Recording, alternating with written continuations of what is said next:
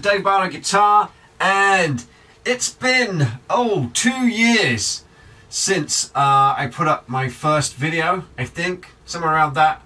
Uh, one of the first videos I put up two years ago, uh, I think it was one of the, the third video that I put up.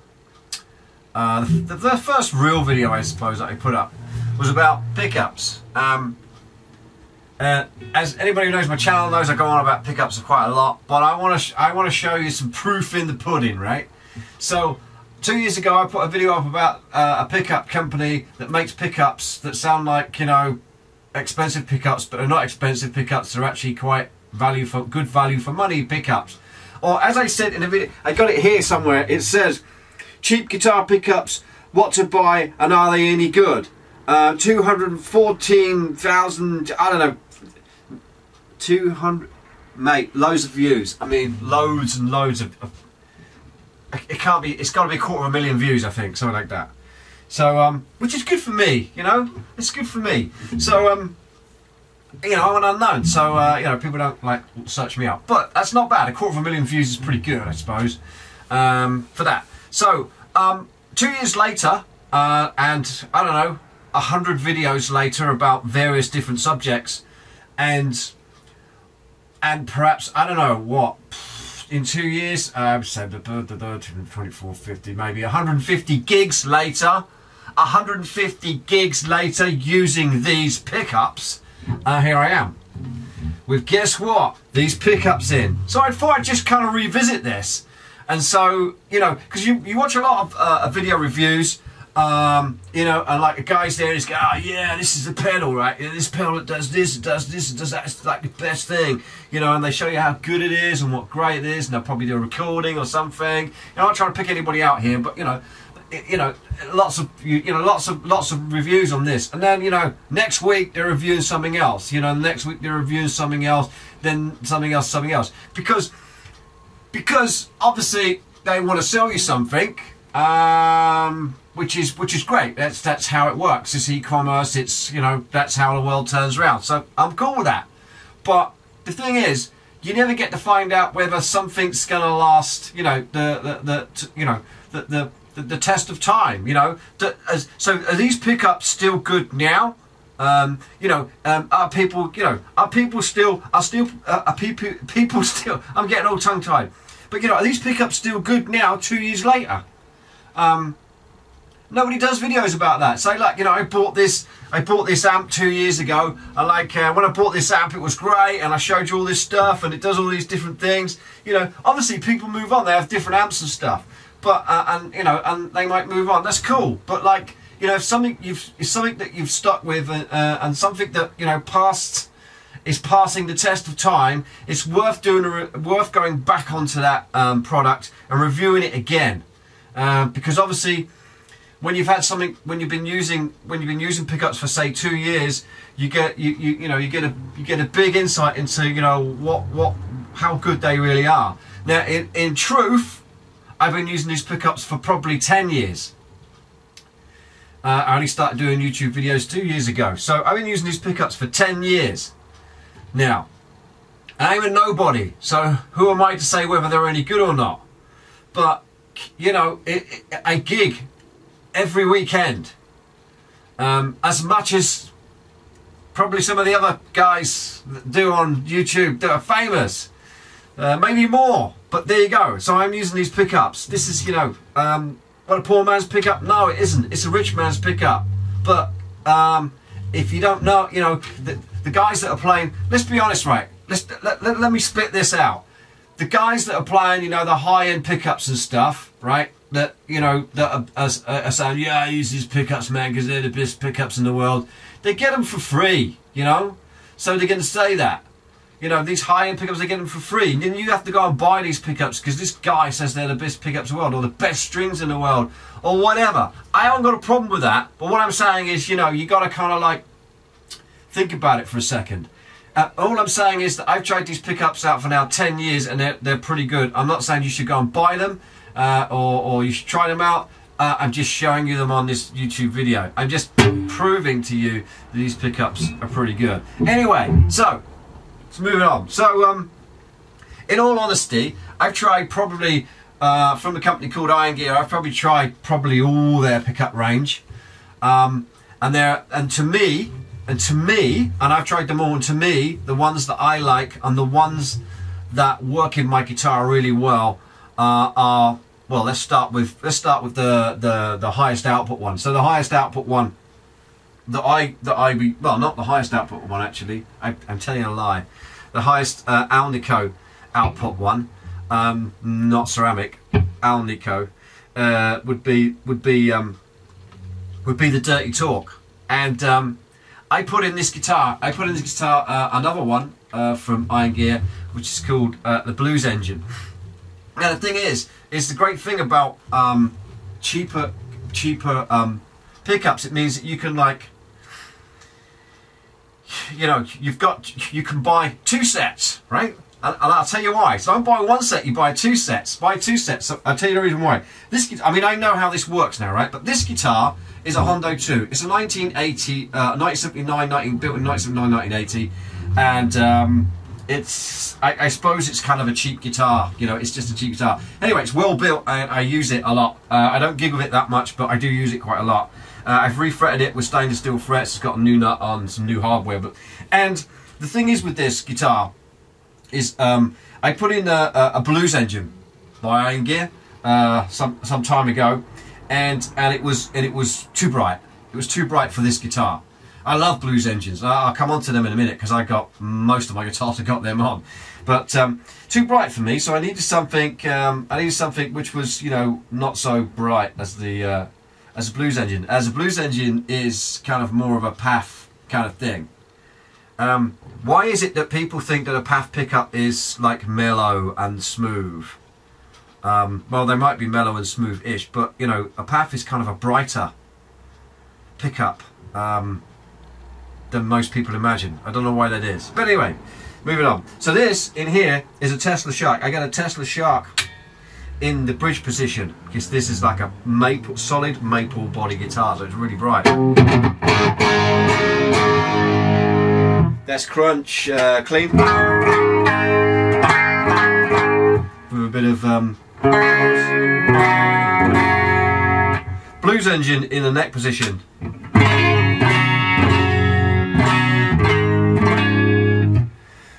neck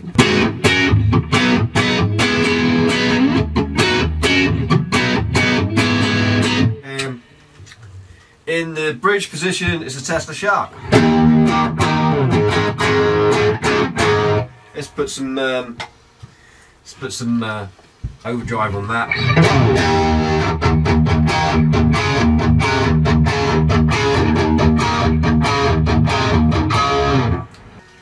Let's try some Foo Fighters.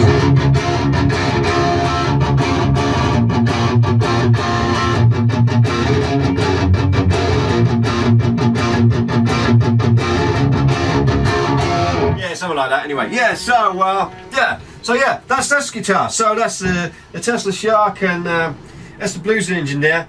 You know, um, in all fairness, I've been like trying this out for a bit lately, and I think I'm to swap that out, that uh, neck pickup for that blues uh, that Blues Engine neck pickup. I'm going to swap that out, and I'm going to put a Tesla Shark in there because I know uh, that'll work much better. Uh, it's just that it's just that this guitar is just so bright. So um, I'm gonna change. I'm gonna change guitar to uh, a guitar which is kind of like the opposite end of the spectrum, I suppose, in terms of brightness. Okay, so this is the Les Paul, and at the moment the Les Paul has in it, oh my good lord, it has in it uh, um, a set of blues engines. Uh, this is a blues engine bridge pickup. This is a blues engine neck pickup. Uh, I swap backwards and forwards from uh, Dirty Torque in the neck to um, a Tesla shark, oh, sorry, a Tesla shark in the neck to uh, um, a Dirty Torque in the bridge. I can't swap it backwards and forwards because I can't decide which one I like the best. It's a problem for me, but both sound pretty awesome. Um, it's kind of one of them things. It's like it all comes together. You know, when you're in the band and you're playing with the rest of the band and you're playing, and it just all comes out. You can hear all the harmonics and all that kind of stuff as you know, if you ever watched any of my channels, is if, if you ever want to find out how, how good an amp is or how good a, an effect pedal is or how good your guitar is, go play with a band. and that's that's the way you really find out how good, you know, that that piece of equipment is. But anyway, this is the Les Paul. Um, this has had uh, yeah, this has had some serious upgrades. If you're following the channel, I upgrade my guitars to the way I like them. Um, so um, this has got um, some uh, stainless steel jumbo frets on it, uh, exactly the way I like them. And I've also um, put in, for the first time ever, I've never done this, I put in a brass nut, uh, a brass nut, and I'm pretty pleased with that actually. Very pleased with how that, that sounds. So kind of brass nut sounds um, yeah, similar to the to, to, to, a, to, a, to a fretted note. It is pretty, yeah. But hey, you know, if you're kind of a bit of a purist, it doesn't bother me. I just I just want to try it out. But um, yeah, tuning stability is very good uh, with this guitar. Um, it's got locking locking uh, tuners on it. It's had locking tuners on it for a long time. Um, anyway, so uh, yeah, these um, blues engines. I just. Uh, I just I just uh, I just put some um, I just put some nines on this. Uh, it should have tens because I, I, usually uh, tune in E flat, but um, so they're a bit floppy. But uh, sounds the same. So that's kind of clean with a bit of chorus. Clean without chorus. Um,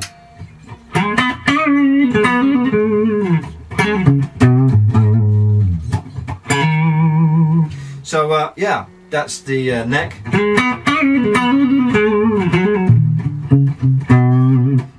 It's basically uh, blues engine is basically a classic PAF sounding pickup. That's what it is. Uh, it, it, uses um, Alnico um, four magnets, so uh, it's kind of weird. Uh, so I kind of I like I really like. I'm gonna be honest with you. I really like the Seymour Duncan SH1 um, their kind of blues pickup, which is kind of like the Angus Young. I think it's the nearest you can get to kind of an Angus Young kind of pickup. Um, it, it's really good. Actually, it's a really good pickup. Uh, and, it's, and it uses an Alnico 5 magnet in it. And I always found that the, the, the top a little bit too squeaky and the bottom a little bit too bottomy for me. Um, great if you want to get if you want to get the exact ACDC kind of sound, but I, I just kind of like to have a little bit less top and a little bit less bottom. So kind of veering towards the Alnico 2, but not quite. So the Alnico 4 seems to do that for me. For me, it does that. So if you like, it's Alnico 4 is kind of in between a 5 and a 2. That's the way I explain it. To my ears, okay? I'll obviously put comments in the bottom if you disagree or you think I should describe that in a different way. But anyway, that's kind of how it feels to me. And some people say that the Alnico 4 is has no character to itself. Um, I'm not I'm not quite sure about that. I, I don't agree with that. Um, so, but if if so, then then it would be if that was so, then it would be a transparent pickup. So if you think that, it's win-win um, if you want your guitar sound to come out. Anyway, great thing about these pickups, your guitar sound will always come out. They will never override that sound of your guitar. So I don't know how to explain that any better than I have just done. So.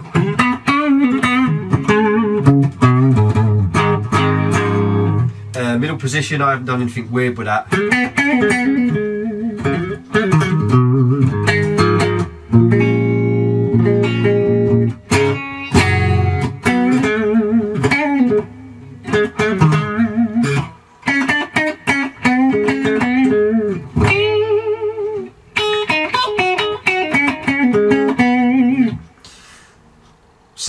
Exactly how you'd expect a Les Paul sound, I expect.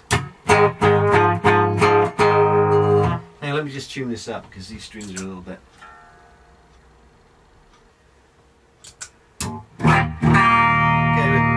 Okay, slightly better tuning there. Sorry, sorry about that. I, have only just finished this guitar. I've only just put it back together again. So um, um, you're hearing the guitar uh, okay. Oh, the, the, interesting thing is, uh, you know, this is a this is a this is a, a Les Paul 1960 reissue, and it's been refretted. Let's I don't know whether you can see this or not. uh, might be difficult for you to see, but um, I was explaining yesterday to a, a, friend of mine that the problem with when you do these is that the 1960s have nibs where the fret ends, and the nibs are kind of attached to the binding. So the nibs are part of the binding, so it covers the ends of the frets. So when you refret this guitar, you have to cut the nibs off. Now, if you're not sure about that, just just check out a video on, like you'll see. It's a nightmare. And when you cut the when you cut the nibs off, now you've got a gap. You, generally, sometimes you have a gap or, or differential between the binding and the rosewood board so there's like a little gap left over so you have to make sure that you do the fret job really really well and that you know when you pull your strings over they don't catch on the frets which I've done here no catching on frets unlike the guy, the shop that I got to do this originally. Anyway, that's in another video. We won't go there. I did all I do all my own refretting, as you know. I do all my own guitar setups, and now I do my own. I do all amp repairs as well. But I'll, I'll talk about that another time. Okay. So. Okay, so we're done. We're done clean stuff. Um, let's just go uh, onto some dirt.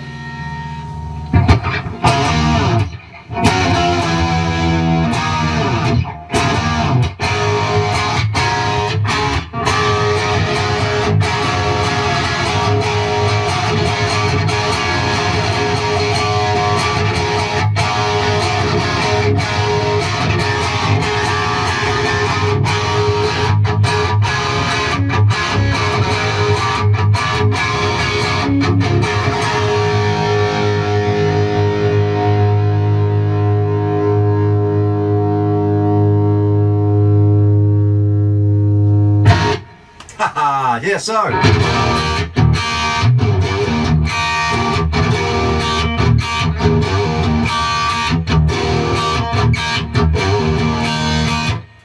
So it's good guitar, you can hear all the notes, you can hear everything ringing out, it's got loads of harmonics going on. Even the horrible harmonics come out pretty good.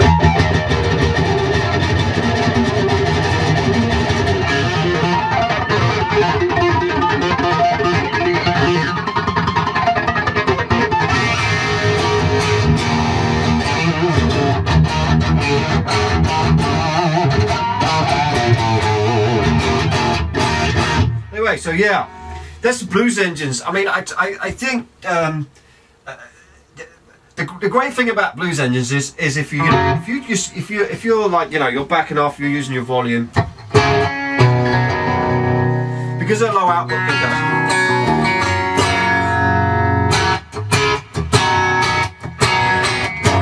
Because they're low output pickups, you can you can just you can turn the grind turn the grind off you know, uh, and you know, have it pretty clean if you're that kind of player, which is great. And uh, you know, and if you want, you know, if you want, if you want more, if, if, if you want to pick up with more oomph, you just you can use these. You just put more gain on it. I put the gain to full, but.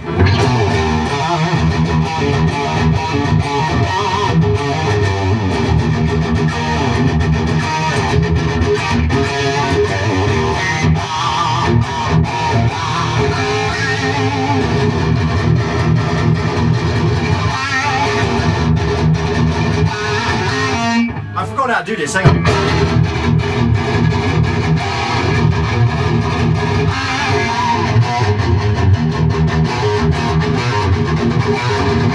Yeah, I'm messing around. Oh, that's